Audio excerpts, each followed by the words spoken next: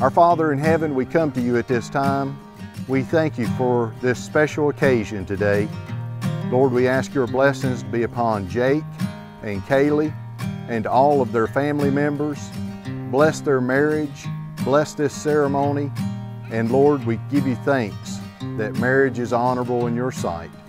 For we ask it all in the name of Jesus. Amen. Hadn't yet come out to talk. But I knew I knew you. And I believe that everything you told me would come out true.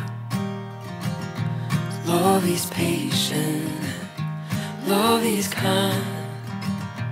Love delights in the truth and is all you need to find. I love Kaylie. Uh, I had two of the most amazing, I guess you would say, marriages for my kids, and then I think, okay, number three is going to be horrible. And then Jake comes home with a chicken farmer. I'm like, really? I'm like, what the heck, you know? But I used to pick at Jake and kind of laugh and say, if you don't marry her, I'm going to. Because she's just an amazing person.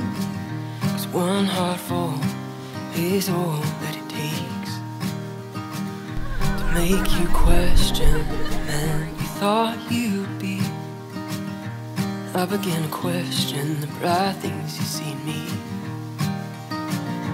Love is patient, love is kind. Love doesn't keep a record of what's behind. Kaylie, you are the most perfect fit for my family. I'm just telling you, I mean, other than washing clothes every freaking, every other day. No, I'm picking.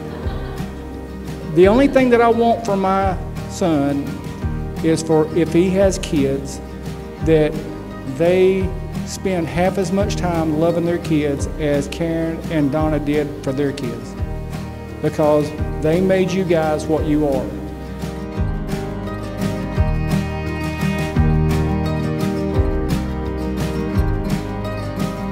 Jake and Kaylie, because you have seriously considered the sacred vows you are about to make, I invite you now to declare your mutual pledge before these witnesses. If you faithfully keep your vows and if you persistently endeavor to do God's will, He will bless your marriage and establish your home in peace.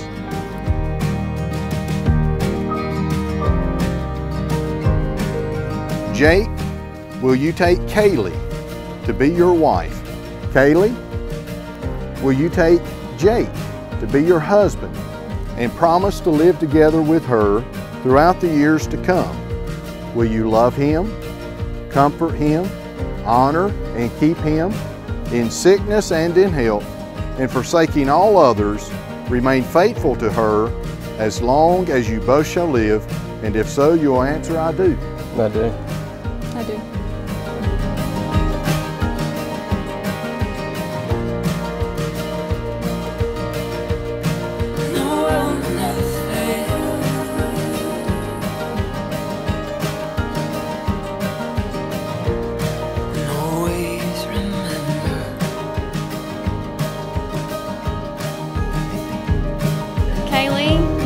Been there for me whenever I needed you most.